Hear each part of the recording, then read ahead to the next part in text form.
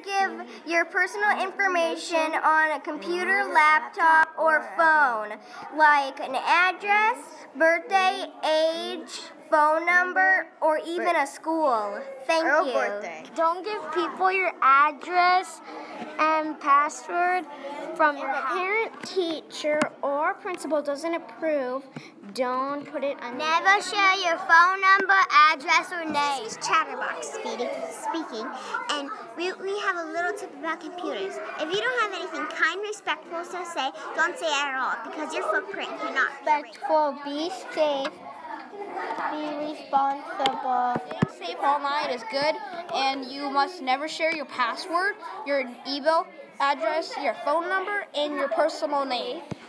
Be responsible.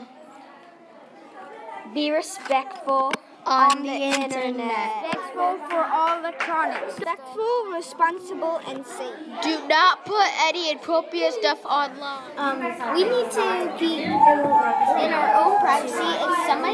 asks us, what's your age, footprint is permanent. Birthday, phone number, or address, say no. You cannot have that personal information. Or